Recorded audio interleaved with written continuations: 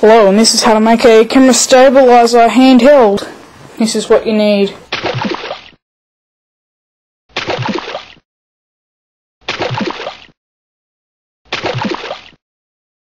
First get your double-sided tape, then pull off some pieces, then put it onto the wood and peel it off.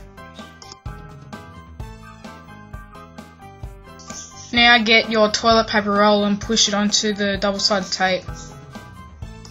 Then put some duct tape on to secure it more. This is what mine looks like after that's done. Now for this tutorial's example, I'm just using two blocks for the camera. Just get some duct tape and duct tape around the stabilizer, like this.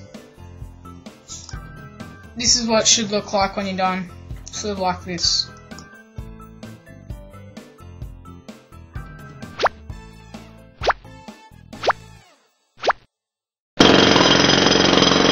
This is what it looks like without a stabilizer.